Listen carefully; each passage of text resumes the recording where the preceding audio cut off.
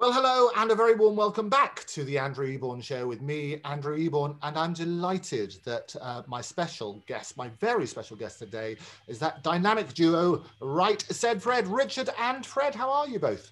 Hey, good morning. Hi, Andrew. We're good, thanks. Yeah. You're, you're looking very dapper. Well, I thought I'd wear the pink. I thought I'd look dapper because you've got your pink shirt on. I, thought I have got the pink shirt on, yeah, exactly. And what I what I love about these sort of uh, strange days is that we get the hamster wheels working. We live in the heart of London, and you Yeah. know that broadband's bound to collapse at some stage. Technology's bound to fail. So I Yeah. thought we'll, we'll keep going, keep peddling. Um, but what I love, and you guys epitomize, if you like, uh, life BC, as I call it, life before Corona, because you Yeah. were the busiest guys in the industry. You tour all over Europe and things like that. And I remember one week, um, just before we had this lockdown, when we got together on four separate occasions. One we was the BMI Awards, where you collected Yes. yet another accolade, and we were sat together with the Bee Gees royalty, and we did all that sort of exciting Right. stuff.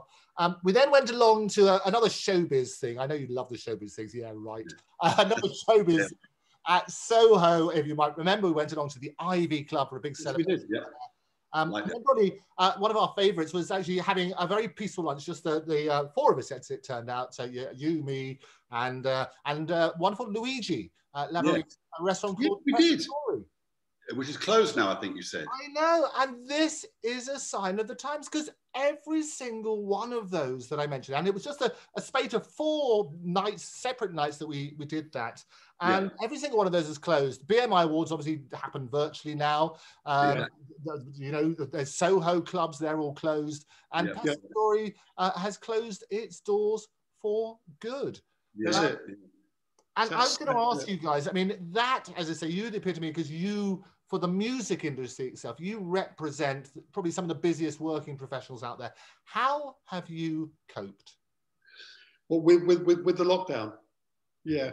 Um, well, we, we, we both have had depression um, and we've on, been on meds for, um, oh, since about 95, 94, Um, mid 90s. yeah, um, yes, Yeah. yes. Um, I think mine tends to be a little bit worse, or he, either mine's worse or he copes with it better. We haven't, we haven't, quite, figured that out.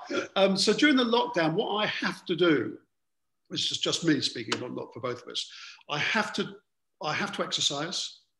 I have to remember my, my medications. I have to take magnesium at night. Um, and I have to switch off away from the mainstream endless news of doom and gloom.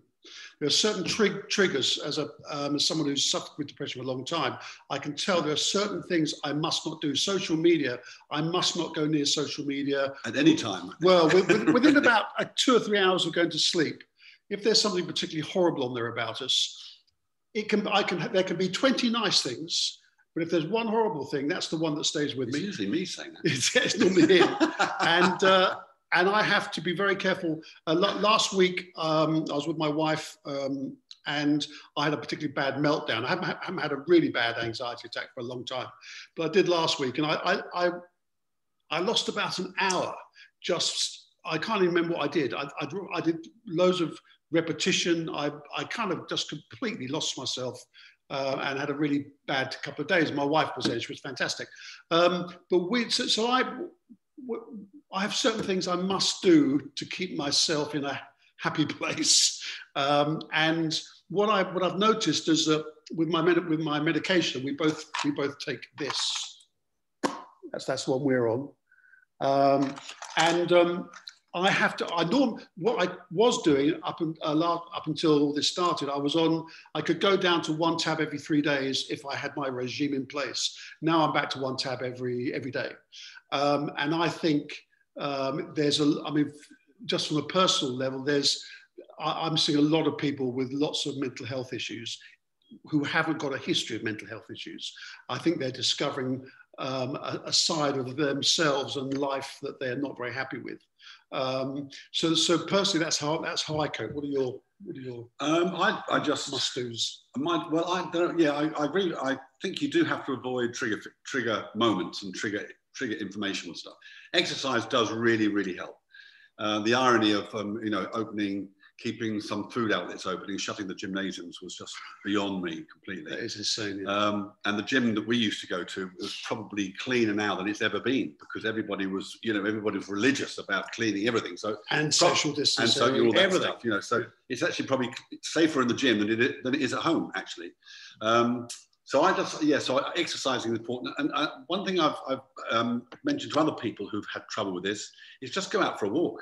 Yeah. Just get out, go out for a walk. Ignore it in this whole self-isolation thing. You're not allowed to leave the house.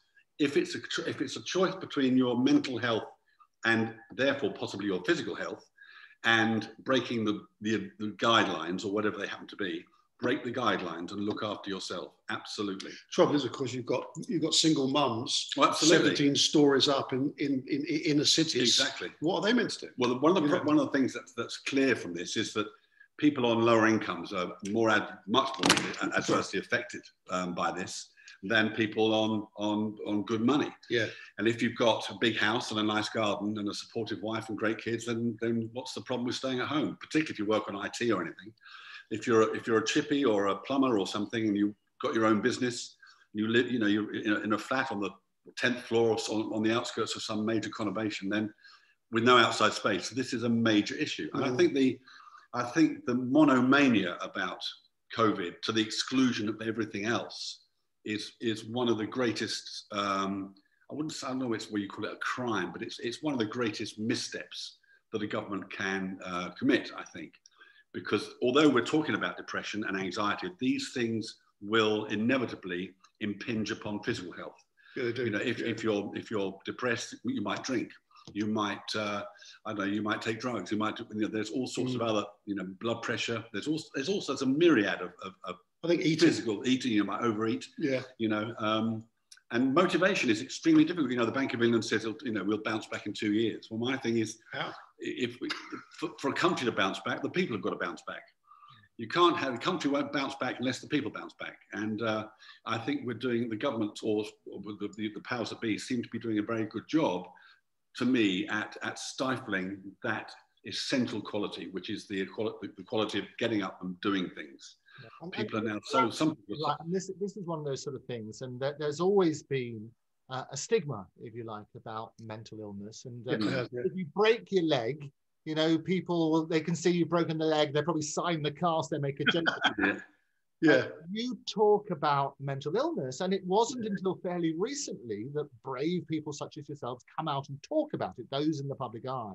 Yes. trying to shine a spotlight on it. And I, I personally think it's it's essential. I want us to be the generation that talks about mental illness. Yes. The next generation doesn't suffer the stigma. no, Well, no, well, it was I agree. it's I agree. interesting when the ban first broke, and um, we, we, Richard's partner was extremely ill, and so managing that professional life and personal life became very difficult.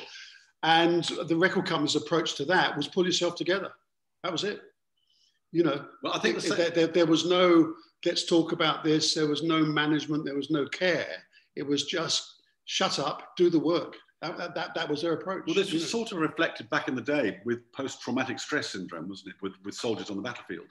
Um, it took a long time for officials within that area to recognise that shell shock was a real thing, yeah, yeah. um, and not just a you know the, the consequence of sheer cowardice. You know, um, and, and I agree with you, Andrew. I think, um, but Kate Middleton actually is doing some really good work on with mind and, Yes. and on, on mental health. Yeah. Um, a much more creative person than uh, some of the other people in the family um, that we won't mention. But uh, yeah, so I, it's the, the issue is everybody has different ways of coping with this, and it's it's really really important to to, to understand yourself and don't let it. It's, it's a bit like a. The trouble with grief and depression is it's so all encompassing in a way you can't see through the fog. When it's really, really bad, you Yeah. can't see through it. And you, I've tried counseling and that didn't, didn't really work. The medication was really, really helpful. Um, and it can be quite dangerous. I, Fred and I were talking about this before. And I, when we were, um, when- I had depression really badly, driving became an issue. Yeah. You know, you find you, you're tempted to drive into the oncoming traffic. You're tempted to Yeah. drive off the road. So target fixation. Tar- target fixation, they call it. So it's, it's potentially very dangerous. Um, and children are experiencing tremendous depression, Yeah. robbing children of their their, their peer group, if you like, their, their so, socializing skills is a terrible, terrible thing. Mm. Um, we have a friend who's the education. I mean, everybody's praising and saying how wonderful the teachers are, and they suddenly recognise that. But it's mm. not just about the facts and figures and so on and so forth. No, no, It is that interaction. It's the playing with your peers, isn't it? Yeah, of course it is. yes, absolutely, absolutely. I think that the, de- the dehumanization of kids in this last 12 month period is is disgraceful. And i know and i know there's the virus. I'm not denying the virus. I'm just saying we have to um, factor in the negative side of lockdowns, of um, and, and, even even even social distance. I mean, I understand social distancing because I um, I have poor health, and so I, every winter I social distance. I don't I don't want to be in crowds, and uh, but at the same time, there's another side of life which is which is that interaction. It is the humanization of particularly kids. And there's a friend of ours, and her, his daughter uh, is at a school, which isn't a massive school, but, um, but they've got 12, teen, 12 teenagers on suicide watch in one school. Now that is horrendous. I can't, I've never heard anything like that before in my life. It's just insane. Yeah, I, I mean, we always talk about the health of the nation, the health and the wealth of the nation. Yes, yes. inextricably linked. Yes. And, I mean, the great thing about you guys is that you're in the public eye people listen to what you say. They might misrepresent it, and we'll come on to that in, in a bit. I certainly do. Have, it's good to have you in your own words, but having people like you being brave enough to talk about your own struggles is really, really important because you came back. I mean, take, let, let, me take you all the way back to the 70s. I mean, you started out playing with the greats. You were playing with Bob Dylan, you did David Bowie, you did all that sort of stuff. And people forget it's not like an overnight success before I'm Too Sexy. You were playing for a long time. You played, what, 1976? You would uh, have people throwing things at you on stage. It was that sort of yeah, we, we, stopped letting our parents into the gigs after that. Yeah. tell, tell me about, I mean, starting out, because the, the industry, you've sort of flipped it on on, on its head a lot. And I, I, I love what you guys do about this because you're not selling out. As you say, the, the one person to fear is the person who can't be bought out. Absolutely. That's Yes, guys, you yes. guys don't sell out. And so yeah. what I love, going back to those days, let's look at the 70s and when um, and uh, your, your, early days there, playing with Dylan, playing with Bowie, and so on and so forth. Talk to me about those days. Um, well, at, at, the time, we, we, were on the road. Our first tour was 78, and we were on the road with a New York duo called Suicide. And as part of that tour, we also did shows with Joy Division and I think a band called The Adicts, and all sorts of different people. Um, and then we, we, names, isn't it? All suicides and addicts and things. Know, yes, right? yes. Joy, Joy Division is the exception. Yeah. Oh, happy days, yeah. happy days. I, I mean, Monday, yeah, it's quite. Yeah. Although the UK had a lot of problems in the 70s, we all know, you know, the been uh, um, the, the, strikes, the, um, the strikes and the 12, three day week, three day week, and very, yeah, very, very difficult times. It was also incredibly creative through this. If you look what the 70s as a decade uh, produced, everything from punk to prog rock disco. Uh, to disco, it was, it was absolutely, uh, yeah, um, electronica, you know, an amazing decade. And I think what, what we did at the time, we just tried tried to make a living. We got lucky, uh, like every band. We, we, when I got the Dylan gig, that was just luck. Richard's, Richard working with Bowie was luck. You have to be good, you know, you have to be good at what you do, but luck plays a massive part of that. And and I think I think, I think wasn't it your girlfriend at the time who helped you get that gig? Was isn't that? yes, yeah, yeah. What happened? Yeah. My girlfriend at the time was a choreographer. And at the time, every video had dancers. Yes. It was it was illegal it was not illegal. to have a dancer. Yeah. So yeah, yeah. So she was working her butt off, and because I knew her, and she was doing some quite big videos, um, she talked to casting people. They say, "Do you know a guitarist? Do you know a bass player?" And she go, "Yes, I do." So we that was our little bit of luck, uh, and and so through through her, we we uh, we did the stuff with Mick Jagger, Bowie, Dylan, um, and through that, first of all, working with those people is a good insight because they are just people, however talented they are, they're, they're just regular people. And they were, and particularly Jagger, was really good fun.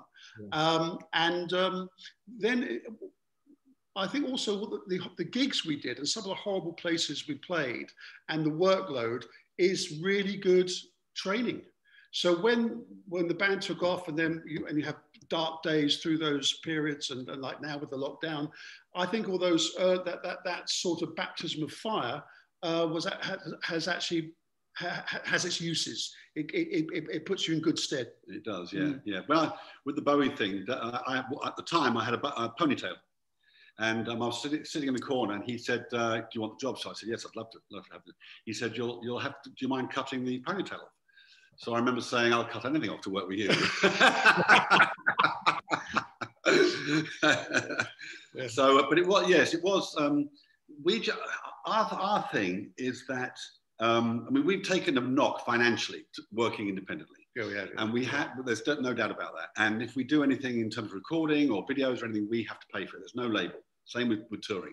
Um, the, the, good thing about that is we can say what we think.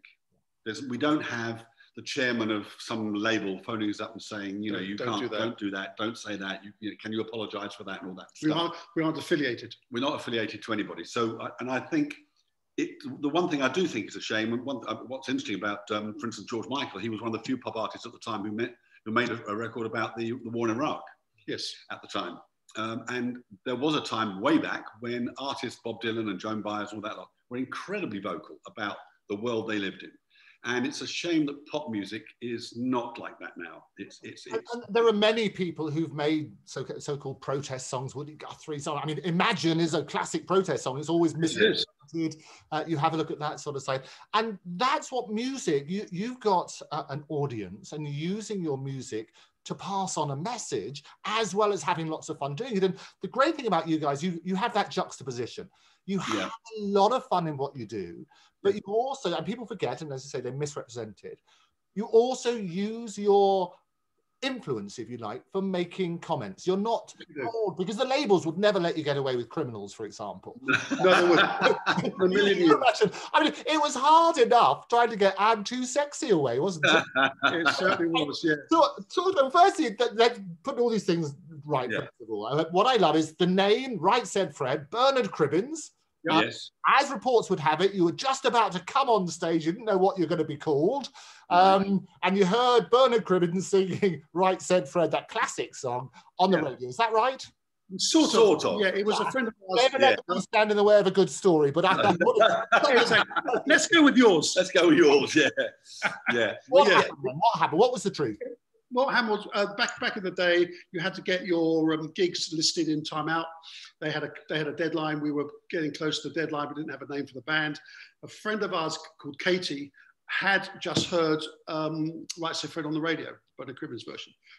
And she, and she just she walked down the road, knocked on my door because we used to very... and Myles Rudge. We always forget the writers, uh, but but Bernard Cribbins. Yes, that's right. That's right. Yeah, always I, remember the writers. It's always important, as you know. It's very important. He lived. I think he lived in um, um, Parsons Green. Oh, Parsons yeah, Green. Up the road from your Fulham place, absolutely. Yes, yes, yes, exactly. Yeah. yeah. So, so Katie mentioned the name that said right. said Fred, I, I, just we just said, yeah, right. Put it in the um, put it in Time Out, and and that and that was that. You know, we didn't really we didn't really think about it. To be honest with you. I think the writer also wrote "Hole in the Ground." They did absolutely. That's great. Yeah. And this is what you have to do. A fantastic way. And this is what we miss now when you're talking about record sleeves and stuff like that. Digital yeah. downloads. You miss out all the myriad of people Yes, absolutely. Come to make the record work. And this is what I miss about LPs. And you used to have all Great. sorts of information on there and you could find yeah. out. I, I love yeah. absorbing that information. Yeah, exactly. Well, there was a uh, there's a there's a um, Steely Dan album. I can't remember which one it is. Yes. The back of the album, they They've actually all the instruments, haven't they? All, all, the instruments and the yes, microphone. I remember that. Fantastic. Yeah, yeah, yeah, yeah. Well, that, that's why at the end of our videos, uh, last three videos, we've done a complete um, credit on, on everyone involved on the record and, uh, and, and the video, because without those people, you can't, you can't do it. Uh, yeah, well, they, well, every failure is an orphan. Oh no, absolutely. It's, it's always, every success is, is, is, down to the village. Yeah. yeah. No, well, quite. Well, I, I always say that uh, if necessity is the mother of invention, then failure is the father of success. Yeah. Yes. yes. Well, so, like, I just, sounds like a plug for my book. There you go, the Book of Failure. Embrace oh, failure. Oh, okay. Oh, right. Uh, a, rare, a, rare, unsigned copy. There we go. Can I, get, can I get that on Amazon? Oh, you get it everywhere. All good bookshops and a few rotten ones as well.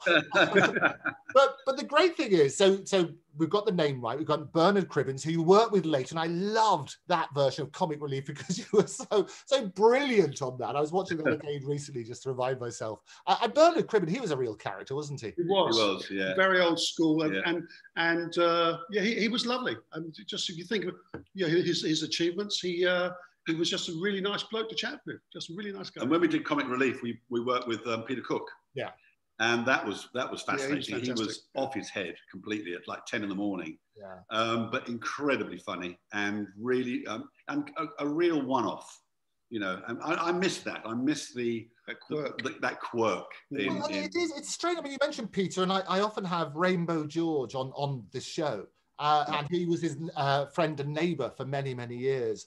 And he, I mean, Peter was a really tortured soul, is the honest answer. Mm, yeah. Um, and so many people who are have big extrovert characters are tortured souls inside, and, and you find that with a lot of comedians. Uh, Yes, Tony yes. Hancock, um, you obviously had uh, uh, Robin Williams. You know all these sort of people uh, recently, and, and Peter Cook, who you mentioned, brilliant, brilliant comedically, but inside they really struggle.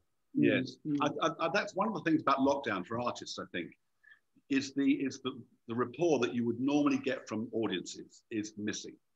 You know, and they can talk about Zoom and they can talk about you know re, you know remote gigs and all that kind of stuff. It's rubbish because gigging, unless you're a, like you know Barry Manilow or something, where you can actually, it's a different vibe. But if you're certainly for rock bands where it's a tribal experience, the audience is part of the event the idea that you can somehow you know turn this into a sort of remote thing is, is absolutely ridiculous you know so i i um that for, for artists you mentioned robin williams and people like that for them to to have gone have to him unfortunately for him in a way he died before this. But for people like that it would this would have been absolute torture. I mean? Absolute hell because you need that fix. And I, I think what happens is it's, it's you're, you're hiding that identity. It's that classic thing about the comedy and the tragedy. Yeah. And most people we are the same underneath it all. Whatever celebrity we have whatever it might be underneath it all if you prick me do i not bleed if you tickle me do i not laugh just to Yeah. adulterate the shakespeare but you Yeah. work on that sort of principle and that's why i say going back to that sort of stuff whenever you have a common enemy and if we look at the virus whatever people's views are on it if you Yeah. view that as a common enemy there is nothing that unites people more than a common enemy no no that, That's that- true. that's true Yes, that's The- exactly right. That's absolutely true. If, if we say that, that COVID 19 is a common enemy, the problem is, is that we are being uh, um, invited to fight it by not uniting. We're being invited to fight it by ma- masking up, by social distancing, by, by closing down all venues, parties, fun, High streets. high streets, everything. All everything that- that is about community, everything that is about human connection and interaction has, has gone. And that I think is hugely damaging. Oh, to it's, people. We live in such divided times, whether you're anti-vax or you're pro-vax or, or, or Yeah. you're let, let's have devolution or you're Brexit or no Brexit. We're out, we're shaking it all about. The Yeah. reality is it Yeah, is yeah. so divisive. We've just had presidential election, obviously, Yeah.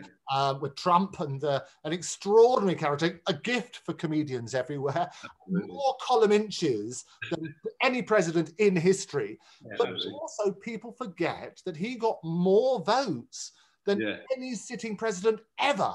Yeah. Mm. So rather than dismiss him, what, what my favorite thing about Joe Biden, it's not a political statement, is Joe Biden is an anagram of be joined.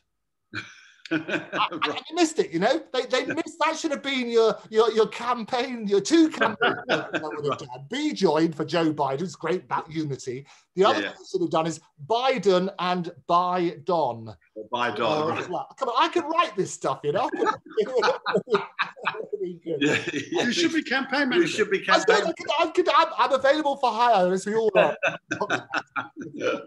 yeah, I know. I agree with you about. I agree with you about Trump. I think the the um, I was watching the lawyer on the TV the other day, the lawyer who made the defense for Trump in the impeachment case, Oh yes. and he was absolutely Van Diem, I think his name. But anyway, he in, in, based in Philadelphia, um, and he was fuming. He was fuming because uh, he was absolutely sick and tired of this division that you're talking about. Yeah. Yeah. He said, what America needs, and I think it's true of Europe too, it needs a, a, a, a center. A, I wouldn't say centre party, that's not the right thing. In a way, the left and right dichotomy thing with politics is out of date now. It's, it's, it's much more than that. Um, but it does, it needs a political voice that makes sense to as many people as possible. And playing to your base, Trump's problem, I think, was playing to his base. Obama's problem was playing to his base. And it's the same with Biden. They need to move beyond their base, I think, uh, to have any real hope of doing of achieving what they want to achieve, which is Trump. Trump will be back. I mean, I, will. I think you will about TNN, Trump News Network. He will. Uh, the, the one the one thing he did get, which um, which which I, I do I do agree with to a certain extent, is this whole idea about fake news. And I teach my children. I know, uh, Fred, you've got a, a daughter, um, uh, similar sort of thing, similar age as my daughter and I, I will always tell them get your news from many different sources. Absolutely. Because the reality is, uh, the truth is between all of them. It is. And it was what Denzel Washington who, who reminded everybody that if you don't read the newspapers, you're uninformed. But if you read the newspapers, you're misinformed. That's right. Yeah, yeah. that's exactly true. Yeah, yeah, and, and I, that's I mean we've uh, we, we've been labelled you know, COVID deniers, anti-vax. We, we've never said that. We aren't any of those things. Um, but if you raise the question, if you say, well, it, has this vaccine been fast tracked? Were the protocols, and you raise an issue, or you question the efficacy of a mask, or is the government approach disproportionate to the problem? If you raise any of those things, the, the, the, the, nuance has gone. So you're a COVID denier, you're an anti vaxxer, you hate you hate Jesus, and do, you, do, you know what I mean? They just come up with this crazy stuff. The firstborn of everybody, absolutely. Yeah, yeah, yeah. Terrible, right? Said Fred. Rah. They, yeah, it was, it's all to do, but it's, it's P.T. Barnum. P.T. Barnum said that if you want to draw a crowd, start a fight. Yes, that's yeah.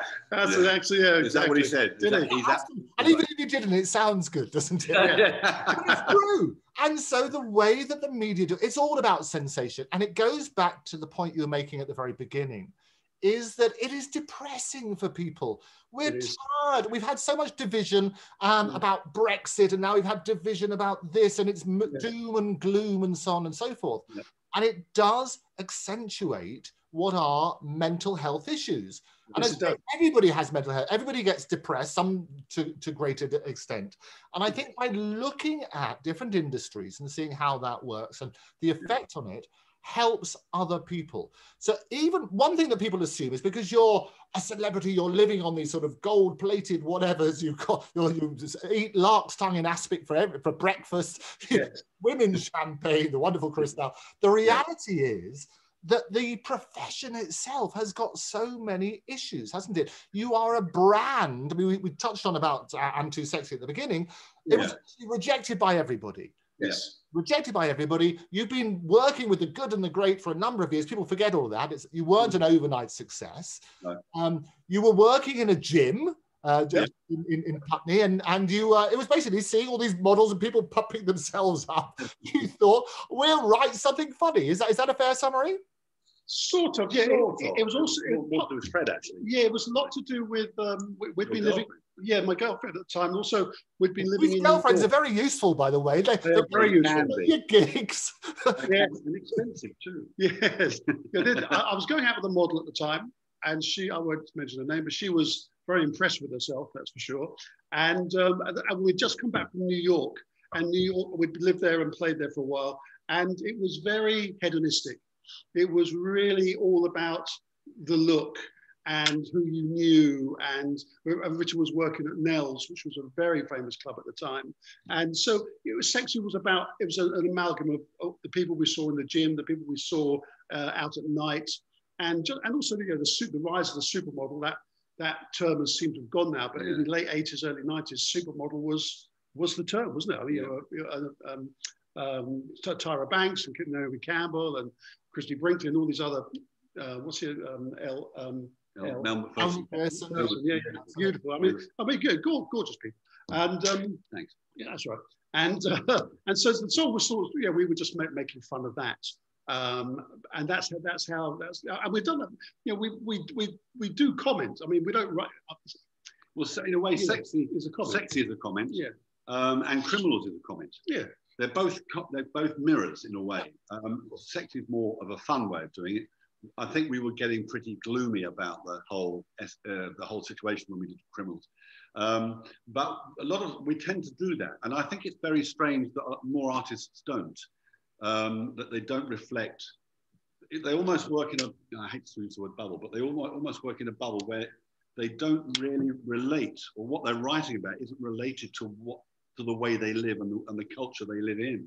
Yeah. Um, and that's that's odd. But, but, but, also, what happens, and this is why uh, the great thing about, um, and, and, I say going back to uh, uh, Trump and so on and so forth, he, he, used Twitter in a way that he can make sure that people understood what he was trying to say. Yes. The trouble with artists is they always get a, a number of people uh, a similar sort of thing, but they get misrepresented. So yes. classic songs, which are actually protest songs, such as "Born in the USA" by Bruce Springsteen, yes, protest song. Yeah, exactly. how they forgot about the Vietnam vets. Yes. Yeah. And, all yeah. in, and he got really upset when yes. at the inauguration they took this as, as the anthem. right, yeah, right. Was yeah. it, uh, Mar- yeah. Marvin Gaye, What's Going On? Yeah.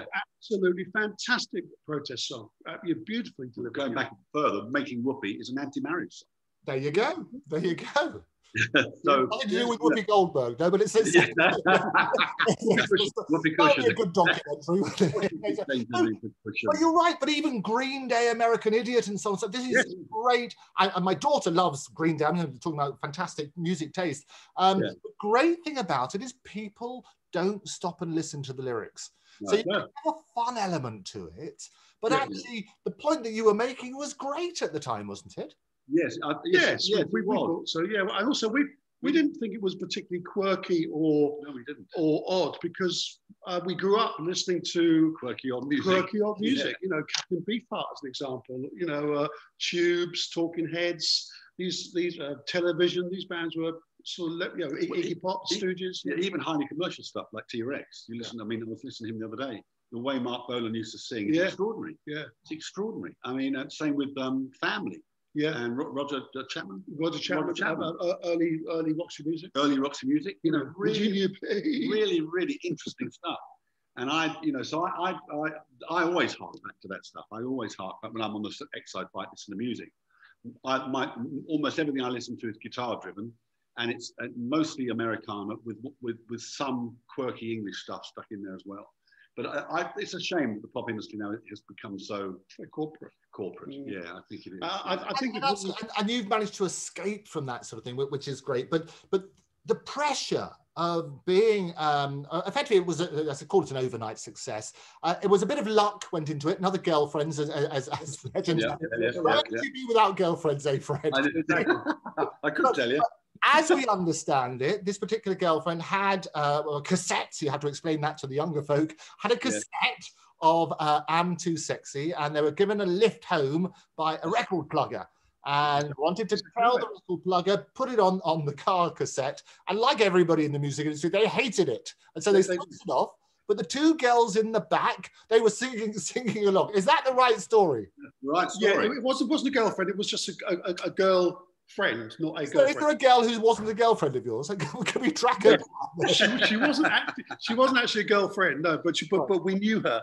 Uh, she worked in the uh, studio where we, where we had recorded it. And she was sitting in this guy's car, put it on. He actually took it off about halfway through or something. And then the two girls sitting in the back started singing, I'm a model. And he went, Oh, put it back in, played it again. Yeah, yeah. yeah. And also yeah. back in the day, when we went to Radio One with with our um, with, with the plugger, he had a relationship with um, Simon Simon Bates. Simon Bates, yeah. and Simon Bates played the single off the acetate. Yeah. Now you Brilliant. couldn't do you couldn't do yes. that now. Yeah, you There's couldn't do that now, and that was I mean they, they tried to talk about how records and it's a bit of luck and it's a bit of you've got to be in the right place at the right time and so on and so forth. Yeah. Um, because you also had a similar sort of situation with uh, somebody from America when they came over, a very famous DJ. Tell us about that. Yeah, he, he was. Um, he ran up, um, ran. He, he hosted a big drive time show, I think, in Atlanta, and um, Sexy was all, beginning to chart in America on imports, uh, but none of the none of the record labels would touch it. So um, what happened was this guy. There was a, there's a thing up in Manchester, which was like a uh, seminar uh, in inner city, I think it was called. That's right. Yeah. Still going on, or would still be going on if the industry allowed it. Yes. Yes. Yeah. Tony Wilson was up there. Yeah, and uh, we, have been a couple of times. Anyway, this this guy happened to be up happened to be up there, and he heard "I'm Too Sexy" at a club or a bar. Went to a record shop the next day. I, I bought the cassette which is a funny little tape thing. it's about yeah. the size There's of only that. one artist on it, exactly. Yeah, yeah. One artist. Yeah, it's about yeah. the size of that. That's, that's true. Yeah. And he took it back and started playing it. And um, in America, people who don't know, certain radio stations are referred to as tastemaker stations, and other stations follow their playlisting. he started playing "Sexy." This station was a was a tastemaker station, and it started to roll. Other stations started playing sexy, and and, and uh, the record companies who who who you know last week said your record's crap picked up the phone and said, "Can we release your record?" and uh, and we and, and, we went with uh, Charisma in America, you know, who were pretty small label uh, really at the time. Yeah. Um, and so that's how Sexy broke broke in America. But it went top forty initially on import. Yeah.